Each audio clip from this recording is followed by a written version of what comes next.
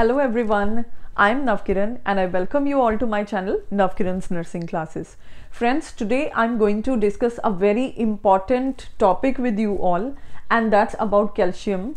And today I'll tell you what is hypocalcemia and how does it affects your body. But first of all, let me give you a brief introduction about what is calcium and why it is very important for our body. See calcium is a macro mineral macro mineral का मतलब है that mineral which is required by your body more than hundred milligram per day तो ये एक तरह का macro mineral है. So friends calcium exist in two forms in our body one is its free form that is in the form of electrolyte C A two positive and the second form is its its bound form which helps in the formation of our bones and teeth तो friends जो calcium है, जो इसकी electrolyte की form में ये होता है it helps in the muscle contraction and relaxation मतलब इन शॉर्ट ये मसल्स की मूवमेंट्स में हेल्प करता है। तो जब इसकी डेफिशिएंसी हो जाती है, एक तो हमारी जो मसल्स हैं, उनमें ट्विचेस पड़ने शुरू हो जाते हैं। बहुत सारी चीज़ें जो हैं, वो गड़बड़ हो जाती है हमारे न्यूरोमस्कुलर सिस्टम में। एंड सेकेंडली हमारी जो बोन्स हैं, वो भी काफ़ी वीक हो सकती हैं, जिसको हम ऑस्टियोप्रोसिस बोलते हैं। तो कैल्शियम ऑल एंड ऑल एक इंट्रोडक्शन से आपको पता चल गया होगा कि एक बहुत ही इंपॉर्टेंट मिनरल है और ये ही रीज़न है कि बहुत सारे entrance exam including NCLEX and C P N R E and even all the other you know government entrance exams जो आपके होते हैं, उन सब में इसके रिगार्डिंग क्वेश्चंस जो है, वो आपको हमेशा मिल जाएँगे। This is such an important topic तो friends let us start today's video लेकिन इससे पहले कि आज की वीडियो हम स्टार्ट करें, आप सबसे रिक्वेस्ट है, अगर आप फ़र्स्ट टाइम मेरा चैनल नवकिरण नर्सिंग क्लासेस को व्यू कर रहे हो थ्रू दिस वीडियो तो kindly subscribe my channel in this way you will be able to get the notification of all the important nursing related videos in just one click तो friends इससे पहले कि आज की वीडियो हम start करें I have a very good news for C S I R U G C net twenty twenty aspirants अगर आप C S I R U G C net twenty twenty के लिए प्रिपेयर कर रहे हो और आपको ये पता है कि ये टेस्ट जो है वो नवंबर ट्वेंटी ट्वेंटी में कंडक्ट होने वाला है तो अन अकेडमी जो प्लेटफॉर्म है, वो आपके लिए फ्री क्लासेस इस टेस्ट की प्रिपरेशन के लिए लेके आए हैं।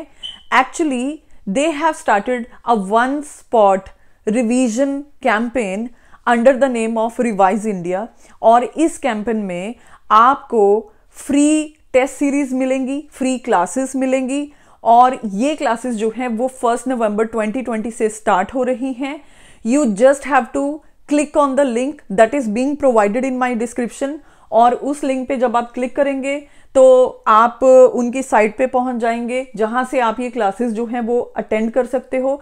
You just have to share this link you just have to select your classes set your reminder and then you are all set to go And friends, Unacademy has introduced a free test series by the top educator and All India rank second holder Chandrasekhar Chaprala.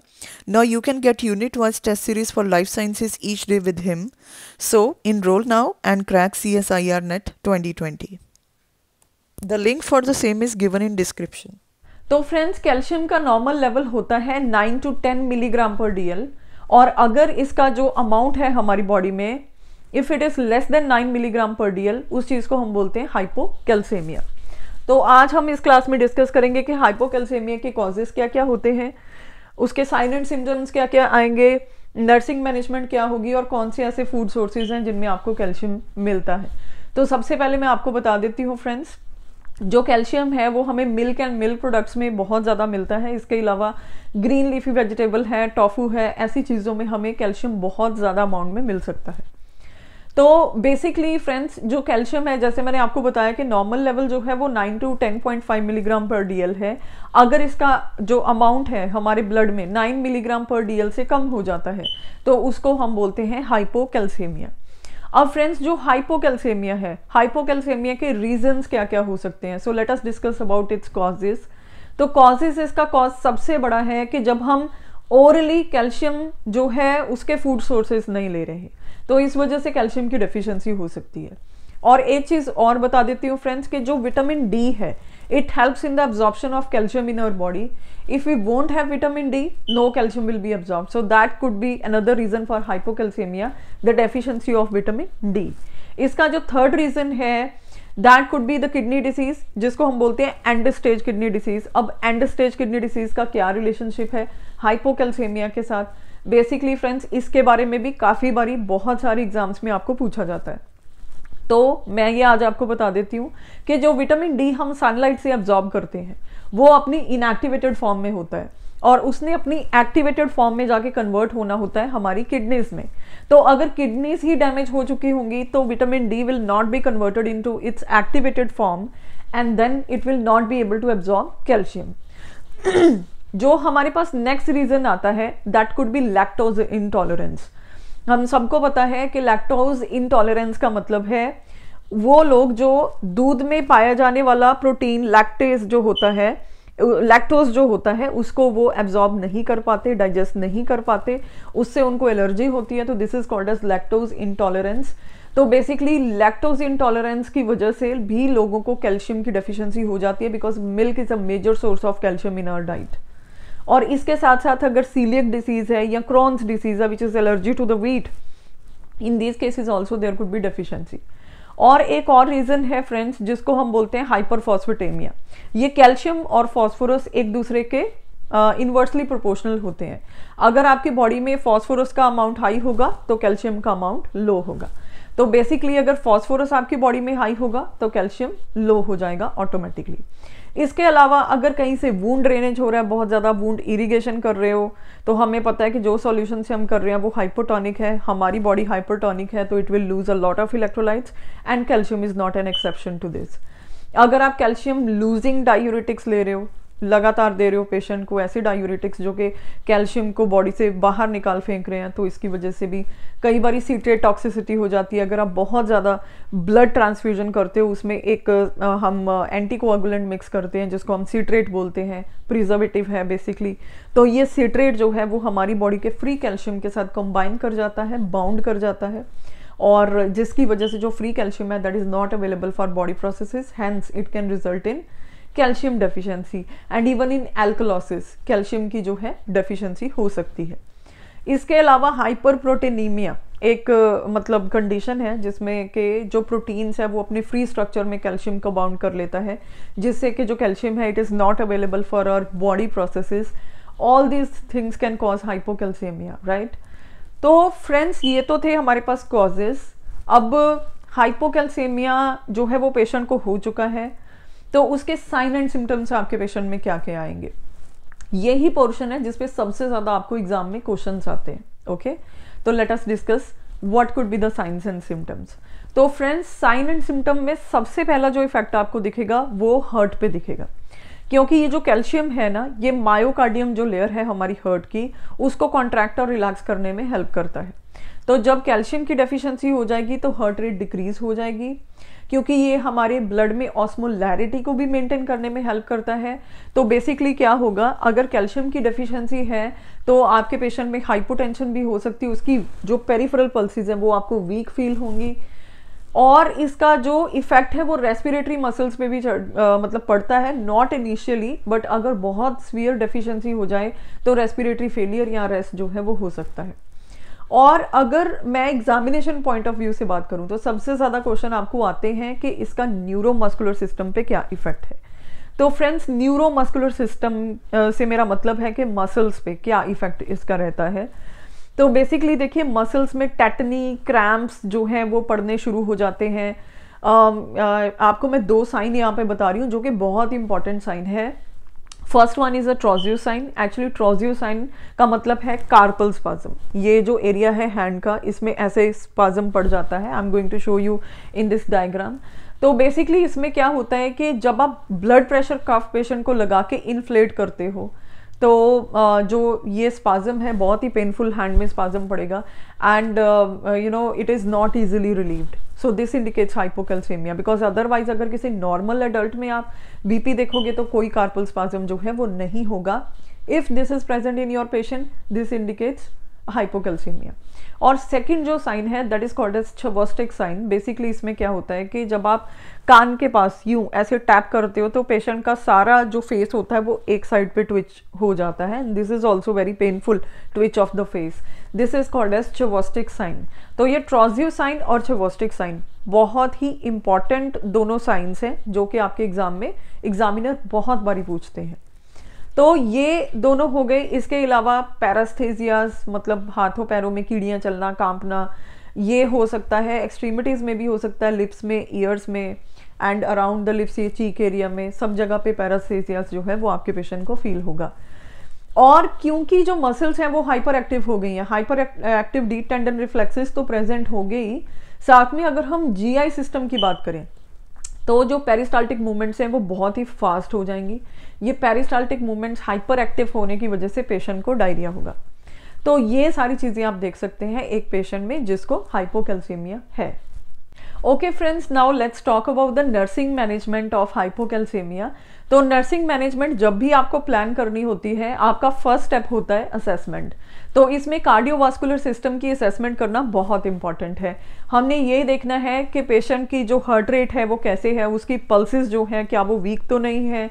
Obviously weak होंगी in the case of hypocalcaemia and in addition to that आप patient का urine output भी देख सकते हो, आप patient का you know bowel movement जो है उसको असेस कर सकते हो. एंड सबसे इंपॉर्टेंटली उसकी जो you know deep tendon reflexes हैं, उनको हमने चेक करना होता है बिकॉज़ यूजली काफ मसल्स या जो भी हमारी बॉडी की मसल्स हैं वॉलेंट्री मसल्स स्पेशली उनमें ट्विचेस और क्रैम्प्स पड़ेंगे specially during the period of inactivity तो ये चीज़ें आप असेस करते हो एंड सेकेंडली देखिए, जब कैल्शियम की डेफिशिएंसी होती है तो हमें विटामिन डी का सप्लीमेंट जो होता है, वो देना होता है।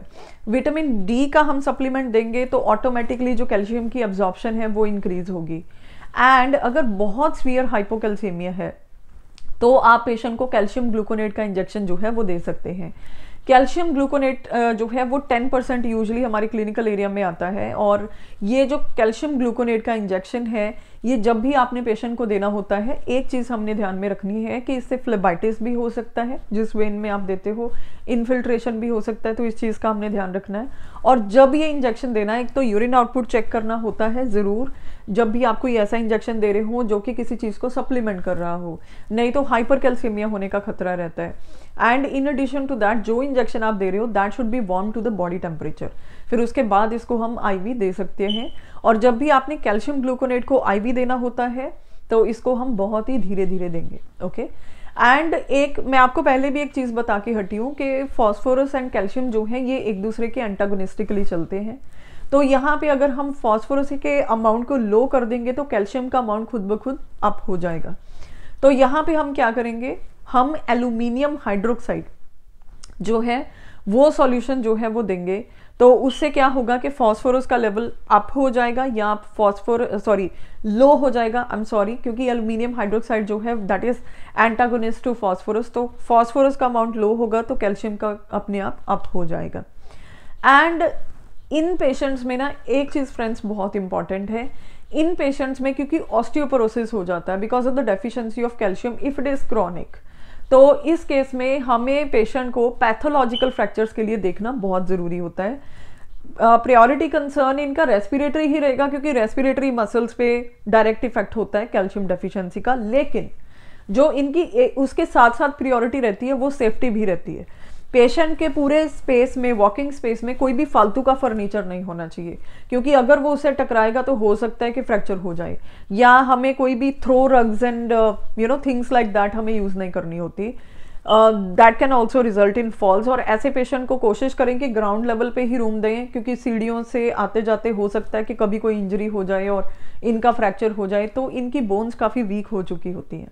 Okay okay? और इसके साथ साथ एक और चीज़ भी है फ्रेंड्स इन लोगों को सीजर्स भी पड़ सकते हैं because of acute and severe calcium deficiency तो इनको हमने सीजर प्रिकॉशंस पे रखना होता है। इनको कूल एंड काम इन्वायरमेंट जो है वो देना होता है।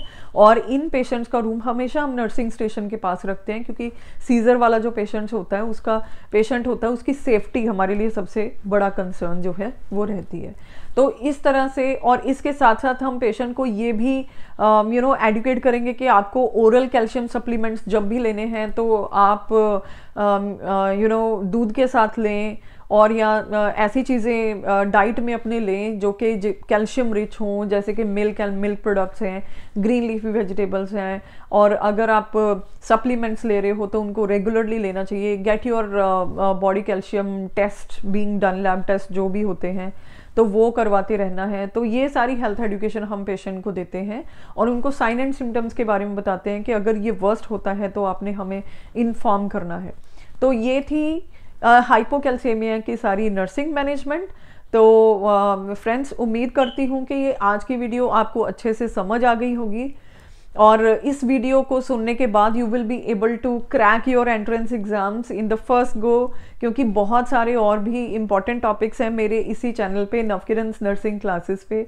और अगर आपको ये मेरी वीडियो आज की पसंद आई है तो इसको लाइक कर दें और इसको शेयर ज़रूर कर दें उन लोगों के साथ जो या तो बीएससी नर्सिंग कर रहे हैं या बीएससी नर्सिंग के बाद they are going for their entrance exam doesn't matter the government entrance exam NCLEX और any other entrance exam because this topic is really very important so मिलते हैं अगली वीडियो में हाइपर के साथ। So stay tuned and uh, take care. Bye.